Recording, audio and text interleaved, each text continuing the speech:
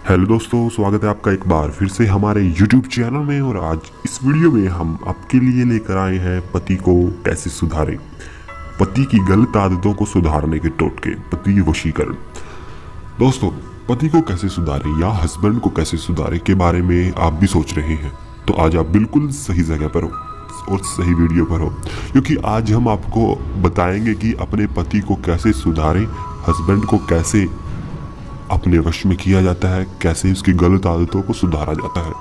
दोस्तों, यह प्रश्न हमसे बहुत से लोगों ने पूछा है कि वे अपने पति को कैसे सुधार सकते हैं और अपने हस्बैंड को कैसे सुधार सकते हैं।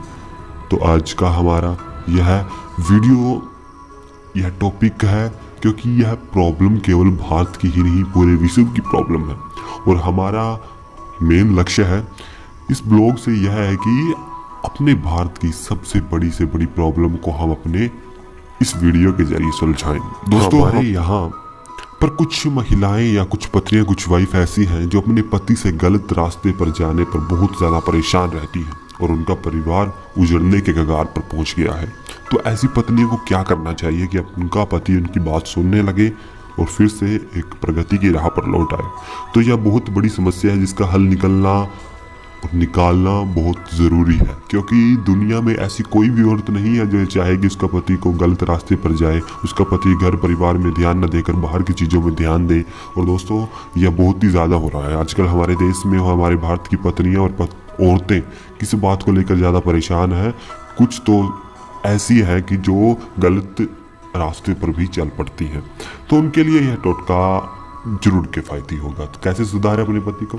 सबसे पहले तो यहाँ पर आपको वह कारण जानना होगा कि जैसे अपने आपके पति, आपके हस्बैंड घर परिवार में ध्यान नहीं दे रहे, उसके पीछे की वजह क्या है? आखिरकार क्यों उनके पति उनकी प्रॉब्लम्स नहीं समझते। क्यों उनके पति हमेशा ऐसी आदतों के शिकार हैं? अगर आपने उनके पीछे की टेंशन्स को जान लिया, जैसे कि इस टेंशन होने पर वो शराब सिगरेट, नशे आदि की सावन सेवन करते हैं तो उनके पीछे की वजह क्या है? आप उनके साथ अच्छे से बिहेव करें। उनके पीछे के एक दिन बैठ कर दोनों आपस में वार्तालाप करें कि उनके पीछे की वजह क्या है? अगर ऐसे आपका काम सुधरता है तो बहुत ही अच्छी बात है, क्योंकि घर परिवार बसाना कोई छोटा मोटा काम नहीं है दोस्तों।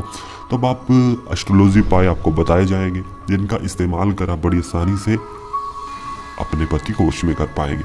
तो अपने पति को वश में करने के लिए आपको तीन इलायचियों का वशीकरण हम बताने जा रहे हैं। ये वशीकरण आप जानना चाहते हैं तो दिए नंबर पर कॉल कर सकते हैं, क्योंकि तो दोस्तों वीडियो बड़ा हो जाएगा। तो आप दिए नंबर पर कॉल कर ये नोट का जान सकते हैं। प्रभावशाली एस्ट्रोलॉजी उपाय है, ज़रूर इस्तेमाल करें, आपका पति हमेशा आपका गुलाम बन जाएगा।